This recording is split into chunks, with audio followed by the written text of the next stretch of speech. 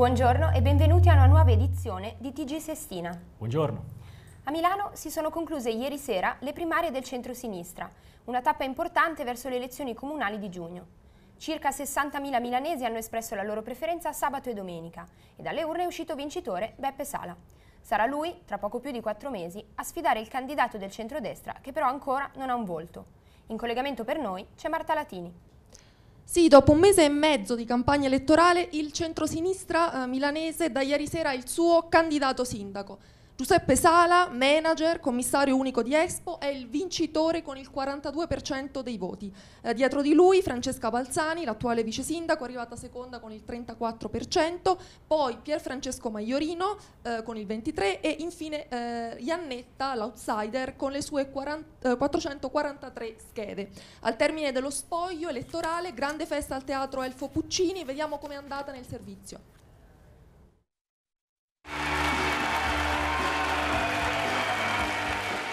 Heroes di David Bowie è la canzone che Giuseppe Sala aveva scelto come colonna sonora della sua campagna elettorale ed è la stessa che risuona nel teatro Elfo Puccini, dove viene proclamato vincitore di queste primarie, con più di 25.000 voti ottenuti. Dietro di lui, nell'ordine, Francesca Balzani, Pier Francesco Maiorino e Antonio Iannetta. Devo dire che ho capito soprattutto una cosa, poi verrà il programma elettorale, verrà il nostro saper stare insieme, ma la cosa che ho capito è l'entusiasmo e la passione che c'è per la politica in questa città. Sala è stato sempre considerato il candidato più forte, quello voluto dal Premier Renzi, che ieri l'ha chiamato facendogli un in bocca al lupo. Sala ha vinto ma non ha trionfato, è l'analisi di queste ore. Prima di tutto per l'affluenza. 60.000 elettori sono andati alle urne, 7.000 in meno rispetto alle primarie del 2010. E poi perché lo stacco rispetto alla seconda classificata, Francesca Balzani, non è molto ampio, circa 5.000 voti. Anche Pier Francesco Maiorino si dice soddisfatto del suo risultato, un 23% che corrisponde a quasi 14.000 voti. Iannetta, invece, l'outsider, arriva ultimo e replica ironicamente di aver sbagliato forse qualcosa. Ora i quattro, da sfidanti, dovranno diventare alleati. È questo il messaggio ribadito dal sindaco uscente Giuliano Pisapia nel suo intervento finale. Bisogna scrivere un programma unito che tenga dentro le idee di tutti, in vista dell'appuntamento più importante, quello fissato per giugno, quando si terranno le elezioni amministrative contro il candidato, ancora incerto, del centrodestra. Marta, ma secondo te Maiorino e Balzani, se avessero unito le forze anziché candidarsi l'uno contro l'altra, eh, Sala avrebbe vinto comunque? Beh, eh, certo, questa sicuramente è una delle tante grandi domande che è eh, circolata in questo mese e mezzo di campagna elettorale. Ma sicuramente una risposta a questa domanda eh, l'hanno fornita un po' entrambi i candidati ieri sera, appunto quando hanno commentato i risultati dello spoglio. Eh, Maiorino ha detto che non è possibile fare una somma algebrica dei numeri, quindi appunto eh, ha sottolineato che eh, le percentuali, le rispettive percentuali sue e della Balzani non vanno sommate automaticamente perché altrimenti eh, il discorso apparterebbe piuttosto al campo insomma, della fantapolitica. Certo, bisogna dire che eh, l'assessore al welfare, appunto Maiorino, è stato sempre piuttosto freddo rispetto alla possibilità di un ticket, cioè alla possibilità di un'alleanza eh, appunto tra lui e la Balzani per correre insieme contro eh, il candidato eh, Giuseppe Sala.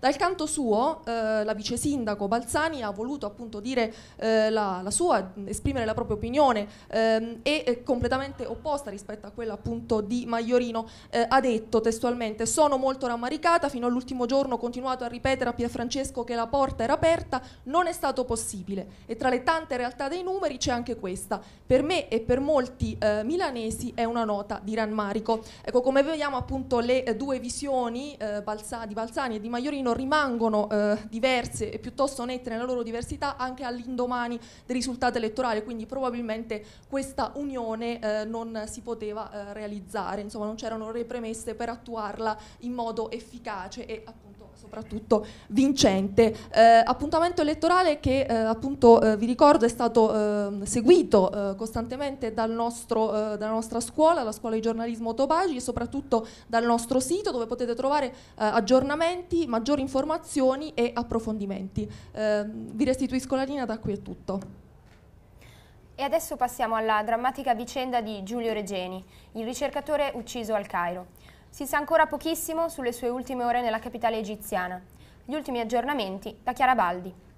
Ucciso per motivi politici. Secondo la Procura di Roma, Giulio Regeni è stato ammazzato perché i suoi assassini pensavano avesse informazioni, che lui però non aveva. Regeni non era una spia. Il ricercatore italiano che scriveva per il manifesto sotto pseudonimo era un militante politico delle opposizioni al regime di Al-Sisi ed era controllato dai servizi segreti egiziani.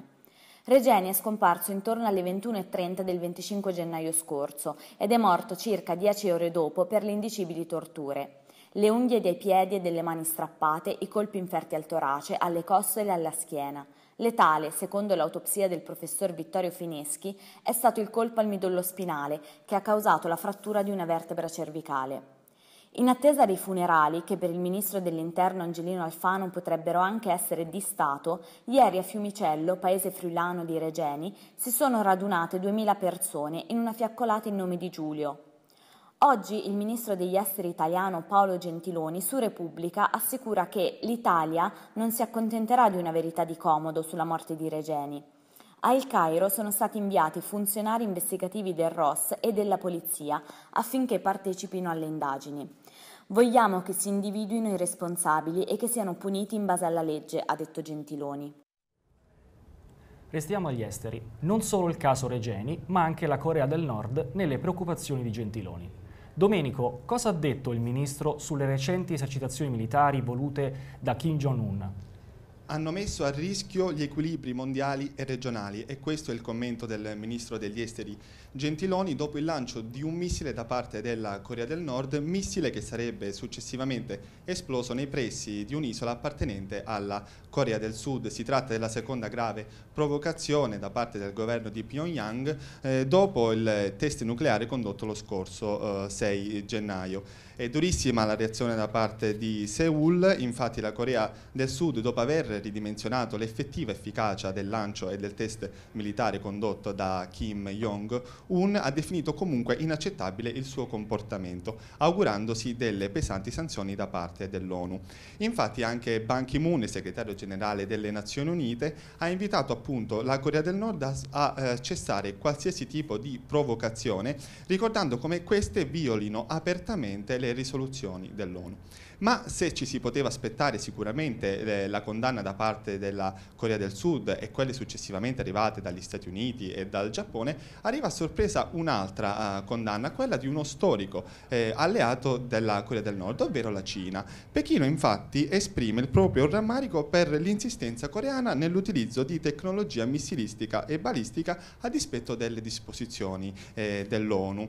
Eh, condanne che però non sembrano eh, preoccupare più di tanto il presidente Kim Jong-un e la Corea del Nord, il quale fanno sapere che continueranno in ogni caso i loro esperimenti militari. E da qui è tutto, vi restituisco la linea.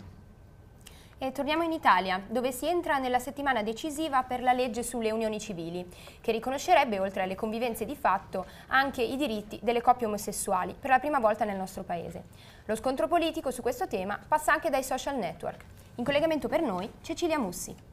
Sì, mancano tre giorni al voto segreto di mercoledì 10 che in Senato sarà eh, per il DDL Cirinnai. Sono molte le voci provenienti da diversi schieramenti politici che si stanno alternando, soprattutto su internet. Tra quelle che ha fatto più scalpore nel fine settimana c'è stata quella di Beppe Grillo che sul suo blog ha annunciato la libertà di coscienza per i suoi rappresentanti in aula, scatenando così oltre 2000 commenti sul post. Ed è di questa mattina, proprio poco fa, la sua precisazione, sì per le unioni civili, ma libertà di coscienza per quanto riguarda riguarda la stepchild adoption.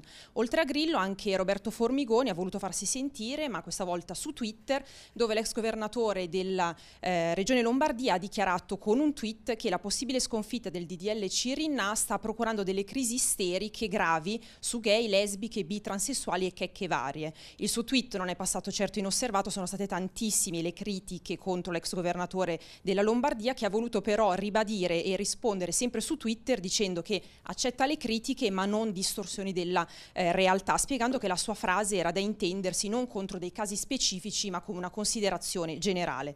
Ha parlato anche il ministro dell'interno e leader NCD eh, Angelino Alfano che ieri ha rilasciato un'intervista a Sky TG24 dove ha ribadito la posizione del suo partito, cioè il no eh, al DDL Cirinà a causa della somiglianza del, delle unioni civili al matrimonio. Ha poi concluso riferendosi invece al voto di mercoledì eh, in Senato che eh, se il Movimento 5 Stelle non ha una sua linea e eh, il PD invece lascia tutti a briglie sciolte, ehm, c'è il rischio che salti addirittura la legge e ha concluso ehm, Alfano, questa è una constatazione. Infine, sempre di questa mattina, la dichiarazione invece del capogruppo PD eh, alla Camera, Ettore Rosato, il quale ha dichiarato che il Partito Democratico non è per lo stralcio della legge, ma anzi lavora in una maggioranza parlamentare in modo da approvare il testo. Queste sono insomma le voci che si seguono soprattutto sul web e staremo a vedere poi mercoledì come andrà questo voto al Senato. E per ora è tutto, vi restituisco la linea. E spostiamoci a Milano dove traffico e smog non sono una novità. Ma per i residenti di Piazza Wagner la situazione, ormai da molti anni, è invivibile. Soprattutto nelle ore più trafficate, al mattino e alla sera, quando si va e si torna dal lavoro. Federica Villa è andata sul posto per noi.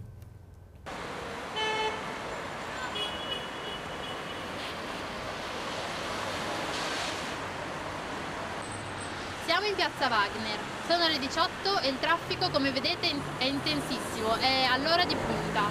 Da questo principale snodo della città di Milano le macchine escono per raggiungere la A4 e entrano nella direzione opposta per raggiungere il centro città. I semafori sono moltissimi ma paradossalmente non aiutano.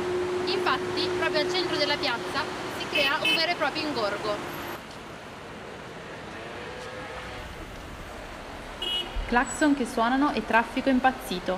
Alle 8 del mattino e dalle 6 di sera in poi la coda di macchine c'è sempre. Un problema di viabilità certo, ma anche di inquinamento. Lo dice la torretta ARPA posizionata a pochi chilometri da qui, in piazzale Zavattari. La zona di Wagner, per tutto lo scorso gennaio, per poco non ha superato la soglia massima di 200 mg per metro cubo di biossido di azoto. Io vivo qua da sempre e ogni volta che devo passare da questa piazza so che devo uscire di casa prima, che io sia in macchina, a piedi, in autobus, perché qua è sempre un ingorgo.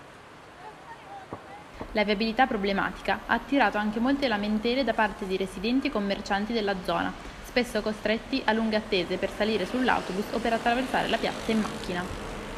io lo percepisco molto, molto affollato, penso che sia più affollata di macchine questa zona, mentre a volte sono lì che non riesco a, non riesco a muovermi in tempo.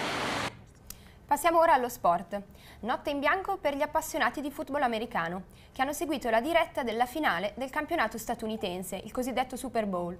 Un evento sportivo certo, ma anche di costume, che ha richiamato davanti allo schermo quasi un miliardo di spettatori da tutto il mondo. In collegamento per noi, Chiara Piotto. Sì, l'hanno chiamata l'edizione d'oro del Super Bowl, la cinquantesima, che si è giocata ieri a Santa Clara, in California. Il titolo quest'anno va ai Broncos di Denver, che hanno battuto 24 a 10 i favoriti, i Carolina Panthers. Una partita di cui i tifosi non sono molto soddisfatti, perché i quarterback delle due squadre, Cam Newton e Peyton Manning, non sono stati all'altezza delle aspettative. Soprattutto Manning, considerato il quarterback più forte di tutti i tempi, che è stato accusato di aver fatto il minimo indispensabile. Anche lo show durante l'intervallo è stato, mm, diciamo, non ottimale. Quando Katy Perry era entrata in campo l'anno scorso a cavallo di una tigre gigantesca, aveva sicuramente fatto una migliore impressione. Quest'anno a cantare sono stati chiamati i Coldplay, Bruno Mars e Beyoncé. La regina del pop ha presentato il suo nuovo singolo, Formation, ed ha attirato l'attenzione dei media facendo uno scivolone durante la sua coreografia, riuscendo però subito a risollevarsi. Lady Gaga, invece, in tuta di pelle rossa fiammeggiante, è stata scelta per intonare l'inno americano prima dell'inizio del match. Ma veniamo adesso allo sport italiano, con gli sviluppi del campionato di Serie A. Continua il testa a testa tra le prime in classifica, Juventus e Napoli. Dopo aver vinto entrambe eh, rispettivamente contro il Frosinone e il Carpi, si scontreranno sabato 13 febbraio in quella che è attesa come una vera e propria resa dei conti. Pareggiano invece sia l'Inter che il Milan, mentre la sfida tra Roma e Sampdoria si è chiusa 2 a 1. E concludiamo con una notizia dal mondo della pallavolo. Quella di ieri è stata una giornata decisiva, con Modena che ha conquistato la Coppa Italia 3 a 0 battendo gli storici rivali di Trento. E dallo sport è tutto, vi ripasso la linea. Grazie Chiara. Prima di chiudere, uno sguardo alle borse. Si preannuncia un altro lunedì nero per i mercati azionari, con Piazza Affari che a mezzogiorno perde circa l'1,7%. Ma girano in negativo anche tutte le altre maggiori borse europee. Londra cede l'1,6%, Francoforte il 2,3% e Parigi il 2,1%. Con questa notizia siamo arrivati alla fine del nostro TG. Grazie, grazie per averci seguito, arrivederci alla prossima edizione di TG Sestina. Arrivederci.